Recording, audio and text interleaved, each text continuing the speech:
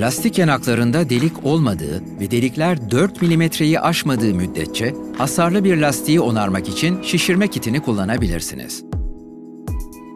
Onarımı gerçekleştirmeden önce aracınızı trafikten uzağa park edin, dörtlü flaşörlerinizi yakın ve el frenini çekmeyi unutmayın.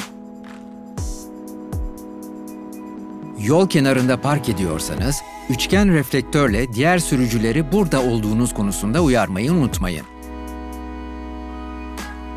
Şişirme kiti aracınızın bagajında bulunur. Öncelikle kompresörün hortumunu kaba bağlayın. Araca bağlı olarak kabı kompresöre bağlayın veya çevirerek takın.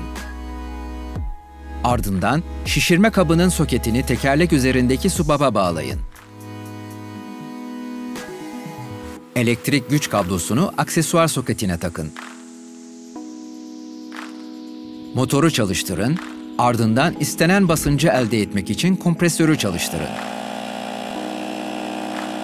Gerekirse kapı çerçevesindeki lastik basıncı kılavuzunu kontrol edin. 15 dakika sonra 1,8 barlık minimum basınca ulaşılmamışsa onarım mümkün değildir. Bu durumda bir marka temsilcisiyle iletişime geçin.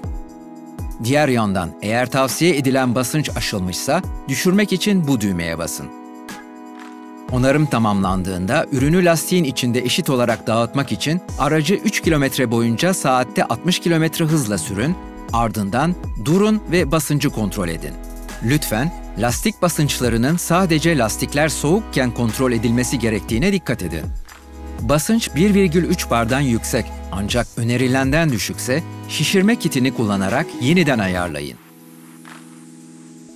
Basınç 1,3 bar değerinin altındaysa onarım mümkün değildir.